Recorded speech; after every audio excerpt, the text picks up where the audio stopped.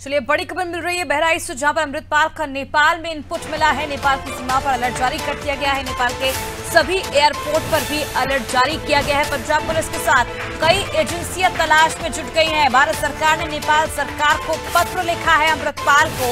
दूसरे देश में भागने से रोकने का अनुरोध किया गया है। भेष बदलकर अमृतपाल के दूर देश में भागने की आशंका व्यक्त की जा रही है। भारत सरकार की ओर से तो इस वक्त की बड़ी खबर बहराइच से। जहाँ अमृतपाल का नेपाल में इनपुट मिला है। नेपाल की सीमाओं पर अलर्ट जारी कर दिया गया है। नेपाल के सभी एयरपोर्ट पर भी अलर्ट जारी किया गया। पंजाब पुलिस के साथ कई एजेंसियाँ तलाश में जुटी हैं। भारत सरकार ने नेपाल सरकार को इसे लेकर एक पत्र भी लिखा है। अमृतपाल को दूसरे देश में भागने से रोकने का इस पत्र में अनुरोध किया गया है। और ये भी कहा गया है कि भेष बदलकर अमृतपाल दूर देश भागने की आशंका है, जिसके चलते इस पर रोक लगाई जाए।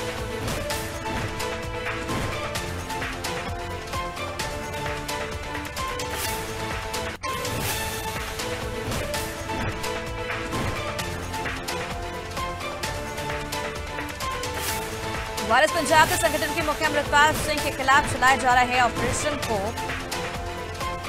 दस दस दिन से ज़्यादा बीत चुके हैं, लेकिन अब तक पुलिस उसे पकड़ नहीं पाई है, लेकिन अब जो इनपुट मिल रहा है, वो ये है कि नेपाल की सीमाओं पर अमृतपाल हो सकता है, जिसे लेकर अब अलर्ट जारी कर दिया गया है। पंजाब पुलिस के साथ कई एजेंसियाँ कई दिनों से तलाश में जुटी हुई अमृतपाल की। भारत सरकार ने अब नेपाल सरकार को भी इसे लेकर पत्र लिख दिया है। अमृतपाल को दूसरे देश में भागने से रोकने का अनुरोध किया गया है।